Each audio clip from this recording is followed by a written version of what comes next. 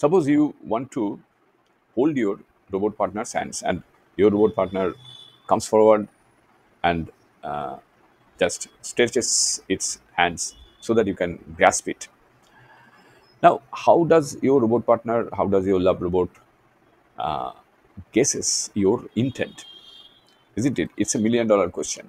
How does it guess your intent, what you want to do, and uh, accordingly they act.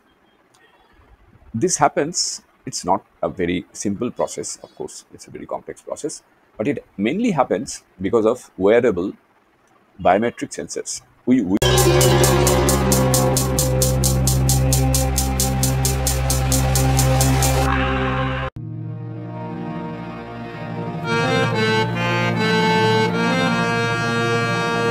Before we proceed, let me tell you one thing.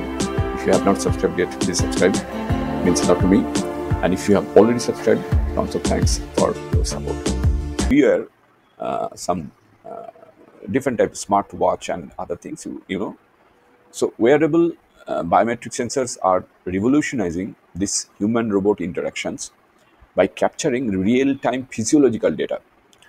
And this is uh, quite mind-boggling because uh, sensors like uh, electromyography or EMG, they detect muscle signals for movement intent, while uh, electroencephalography or EEG can measure cognitive s- states like uh, focus through brain waves. So thi- this is really very complex process, of course. And through this complex technology, like EMG or EEG, these robots uh, truly knows your exact intent, what you are going to do. Actually, this data provides a direct window into the user's state of mind, and it also helps robots to become truly adaptive partners. That is why robots now becomes smarter, and not only smarter, they also become more adaptive partners.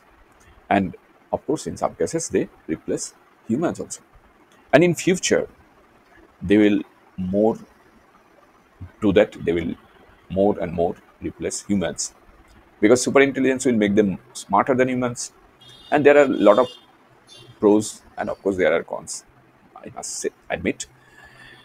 Anyway, the system, uh, let us come back to our topic. The system learns by using machine learning to correlate these complex data patterns with user intent. For example, a model is trained to recognize the specific uh, EMG signature of a user intending to grasp, okay, intending to grasp a robot's hands, commanding a prosthetic hand to close at that exact moment. This predictive capability allows the technology to anticipate needs and respond appropriately, creating an intuitive collaboration. And more and more, this intuitive collaboration advances, progresses. It will make the robots more smarter, more like humans, and of course, they will more replace human partners. This is pivotal in assistive technologies also, like prosthetics, exoskeletons, and collaborative robots. And if you think from a hardware perspective, it requires sensitive, non invasive sensors and powerful processors. The software focuses on real time signal processing to filter noisy biometric data. And algorithmically, neural networks perform the complex pattern recognition, transferring the user's physiological state into precise commands for the robot's control system. So there are a lot of things going on under the hood, behind the curtain, but overall, altogether, these wearable biometric sensors uh, revolutionized has revolutionized uh, everything, especially the human-robot interaction, and that is true by capturing the real-time physiological data, which is really, really very complex process. So that is it. Thank you for joining us on this journey. Let's continue this conversation in the comments below.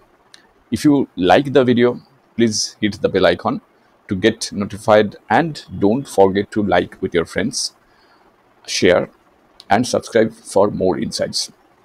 If you have already subscribed, tons of thanks for your support. It means a lot to me.